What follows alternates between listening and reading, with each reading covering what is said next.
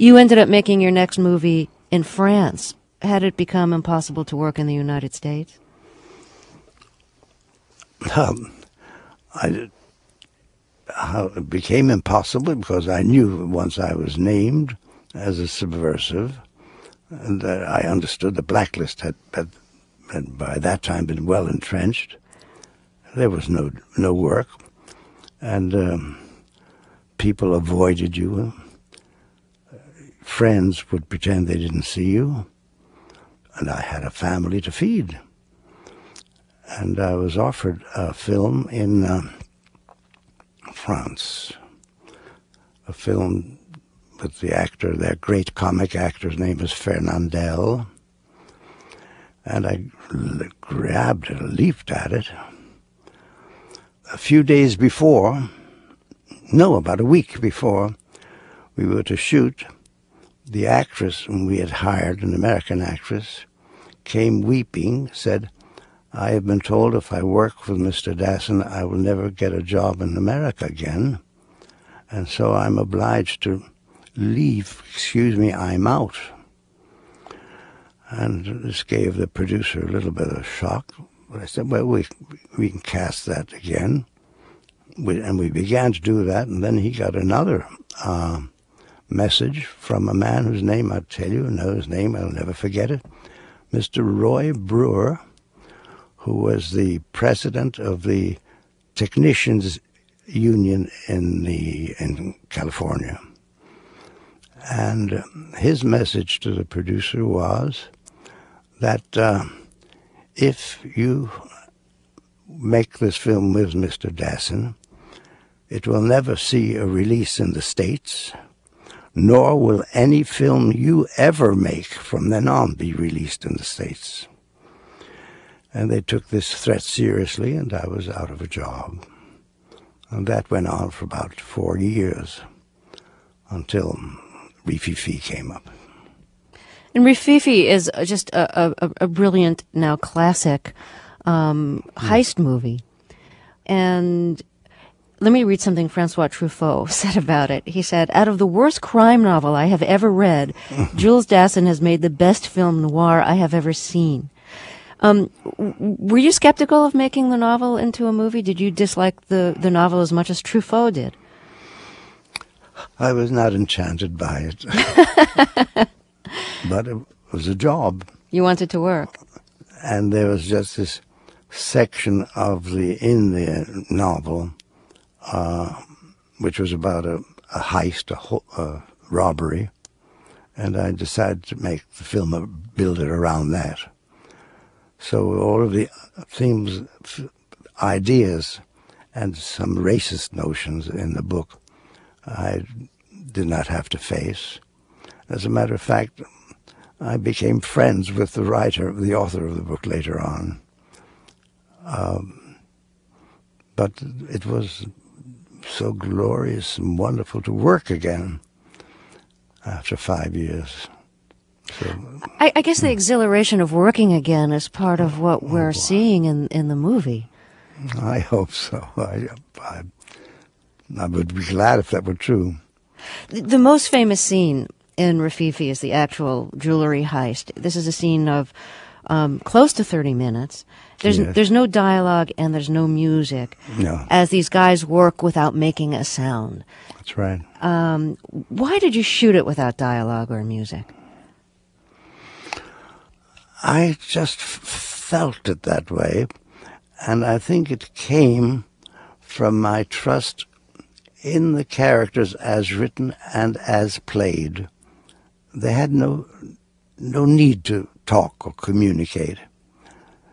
They they were professionals. They knew each other. They anticipated each other, and they knew that noise was an enemy. Noise was dangerous, and they worked quietly efficiently, and in touch with each other. Contact that was very strong, and uh, it worked better in the silence. Now, most filmmakers, I think, would have put music underneath, suspense music or some kind of music. Oh, I think then you've heard my story, a story. There's a wonderful uh, composer in French history, as a matter of fact. His name is Georges Auric, who also did film work. He's written some marvelous stuff for movies. And um, he said, I look forward to writing uh, music for this huge sequence. And I said, No, I don't want music. He said, You're mad.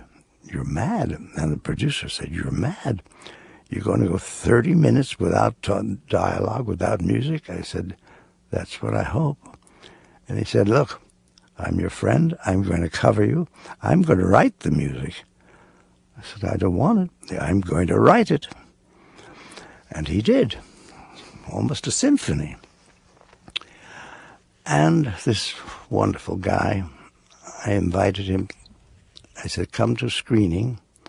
I'm going to show you the film once with music and once without music.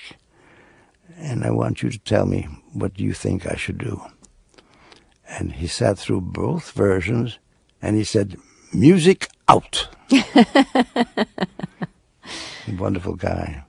Now, do you think that audiences early on realized that there was no sound and oh, no yes, dialogue, or did it just work on them unconsciously? Well, um, I trapped them a little bit because there was one sound I did make. The guy accidentally touches a piano key.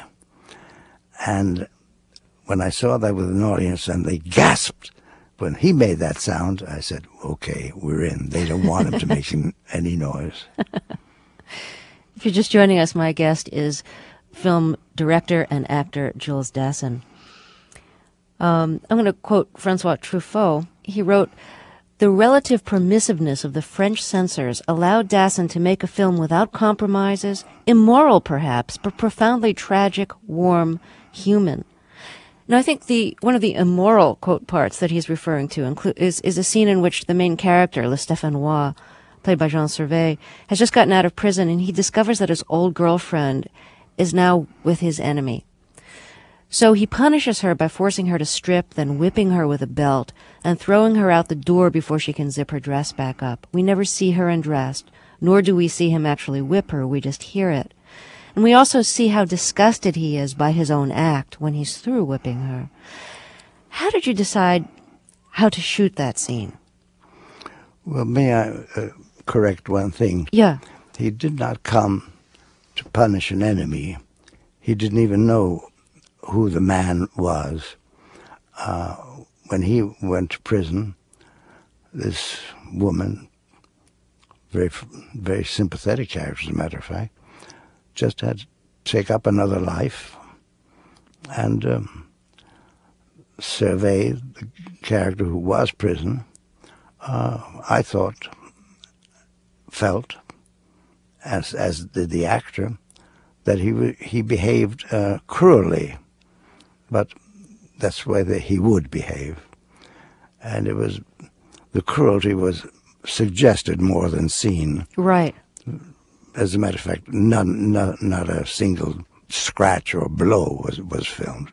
It, it just not. It was suggested. But I understand that that the movie ended up on the Legion of Decency list of, of movies to avoid, and that it was actually censored in some countries. Look, um, the Legion of Decency. Uh, I'm convinced treated it that way because my name was on the film. Right. My, uh, you know, I something I have a, some pride about was that after people who needed work, friends, blacklisted people, people, talented people that I knew about, had to work under false names, and I just when Rififi was seen by American uh, uh, distributors, it had already opened in Europe and was uh, very successful, made a lot of money. And producers of the States, distributors, came to me and offered me a lot of money if I would remove my name from the film and put up some false name that I refused. And uh, that was the first film made by a former blacklistee that had the director's name on it. This is credited to my dear friend uh, uh, Dalton Trumbo, who made Spartacus. Right, that's the story I always hear. No, but that came after Rififi, mm-hmm. considerably later. And with my name on it, all we got at the beginning was one theater in New York, one. Uh, but it opened and was very successful, and so some other theaters took it up. But it got very limited distribution at the time. I know you acted in the Yiddish theater in New York before you even directed. What kinds of parts did you play in the Yiddish theater? I actually played one speaking part uh-huh. because I was an apprentice in that theater. Um, and I played the lead in one part because I was the understudy. And um, I stepped in and I was great. And then the next day, I was terrible. And the third day, I was just inadmissible. And I said, Oh my God, you mean one has to do this every night? I said, No more actors for me. And that's when I decided to go in another direction. Was Yiddish your first language? Well, actually, it's very strange. Um, my mother and father were Jewish, but my father insisted that we speak in English. And so I didn't, I spoke sub Yiddish, but not well. But when I saw that theater and said, I want to be in this theater because I think it was a great theater called the Artef. Marvelous, wonderful theater with a brilliant director. A man whose name is Benno Schneider.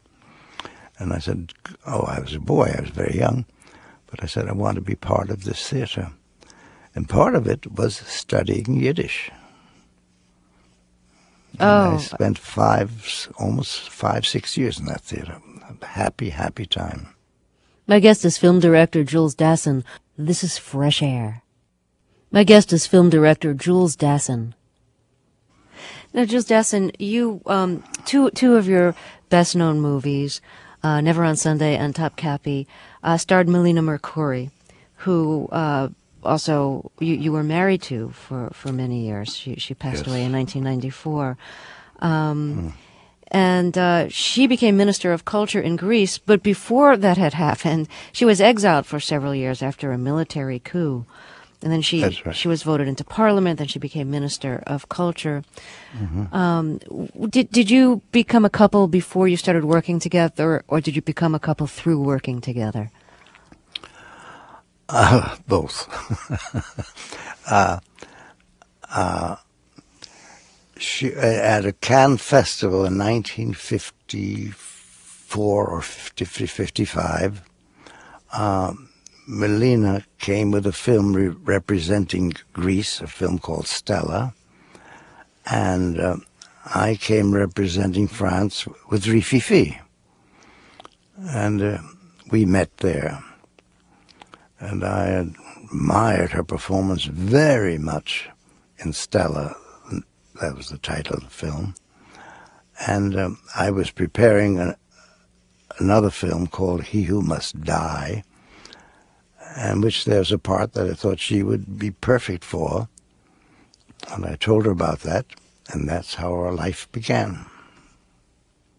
What was her image in Greek movies before Never on Sunday? in she which she, she played um, a, a kind of earthy prostitute. In Never on Sunday. Yeah. Yeah. She had made only that one film before. This film, Stella, was the first film she ever made. Oh. That's all she had. It was her first movie. So you, you kind of discovered her in a way. Well, the man who made Stella discovered her, but uh, she was a very important uh, star in the Greek theater. Now, you've continued to live in Greece. Mm-hmm. Um, what do you like about living in that country? I guess your family is there now. No, my family is in Paris. But, you know, we see each other. My daughters are here with me now, right outside your studio door. Um, But um, you know, this dictatorship that you referred to lasted seven years. In in Greece. Yeah, it lasted seven years, and uh, for Melina to be cut away from Greece, which she passionately loved, she loved everything Greek. If you had a Greek name, she loved you. She was a nationalist, a jingoist, a chauvinist, ever, whatever came to Greek, she loved. And for her to be away was very serious punishment. And when the junta fell, I happened to be in New York on the day it happened. Melina was in Paris, and she said, I'm going back tomorrow. Think of what you're going to do and let me know.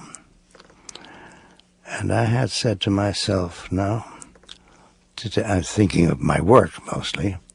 My Greek was practically non existent, limited.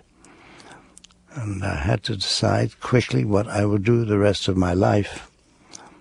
But I knew what Greece meant to Melina. She had to be there. And I knew what she meant to me, so I had to be with her. And that was the decision. I went to live in Greece. Well, Jules Dassin, thank you for talking with us. Thank you for visiting New York. Enjoy talking to you. And I wish you the best. Thank you. Film director Jules Dassin, last week he flew to New York for a film retrospective featuring his late wife, Melina Mercouri. It runs at the Film Forum in Manhattan through October 18th. He will appear at the Harvard Film Archive October 11th, where they're doing a tribute to Mercouri and Dassin. I'm Terry Gross.